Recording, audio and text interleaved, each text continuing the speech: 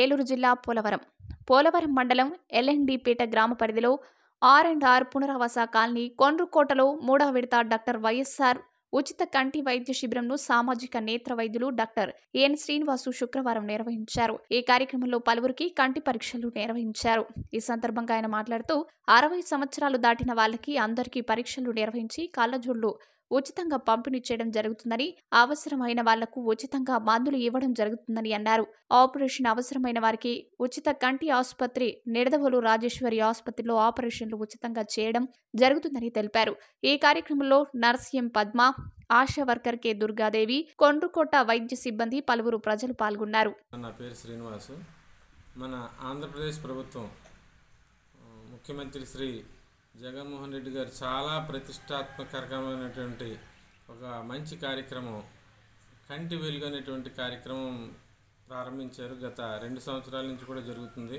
మొదటి దశలో ప్రతి స్కూల్ పిల్లల్ని కూడా అంటే private school public school aided schools అన్ని పిల్లలకి అందరి మంది పిల్లలకి పరీక్షలు చేసి అవసరమైన వాళ్ళకి కంటి కంటి ఆపరేషన్లు చేసాం కళ్ళజోడు కూడా ఫ్రీగా ఇచ్చాం మందులు ఇచ్చాం.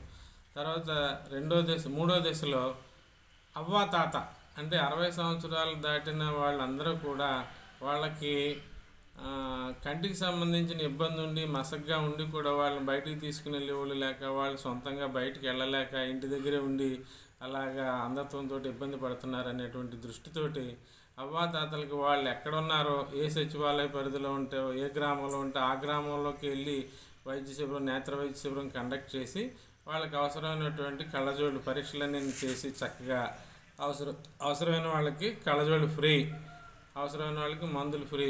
ఎవరికైనా కన్ను ఆపరేషన్ అవసరమైతే కనుక వాళ్ళకి కూడా పూర్తి ఉచితంగా కంటి ఆపరేషన్లు కూడా కంటిలో సాఫిస్టికేటెడ్ అంటే అత్యాధునికమైనటువంటి పరికరాలతో చేసేటువంటి కంటిలో అద్దం అమర్చేటువంటి ఆపరేషన్లు కూడా ఫ్రీగా చేసి ఏర్పాటు జరిగింది.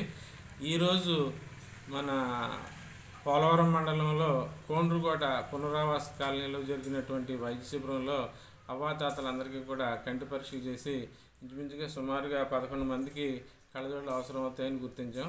వాళ్ళందరికీ కూడా ఆన్లైన్లో కళ్ళజోళ్ళు పురమాయించి రాగానే లోకల్గా ఉన్నటువంటి స్థానిక వైద్య సిబ్బంది శ్రీమతి పద్మ మరి ఆశా కార్యకర్త దుర్గా ద్వారా వాళ్ళకి అందించి ఏర్పాటు చేస్తాం.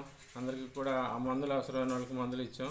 ప్రస్తుతం ఈరోజు చూసిన కార్యక్రమంలో అయితే ఎవరికి కంటి ఆపరేషన్లు ఏం అవసరం లేదు. ఈ ఈ ఈ కార్యక్రమం వల్ల అవ్వాతాత కార్యక్రమం వల్ల అరవై సంవత్సరాలు దాటిన వాళ్ళందరూ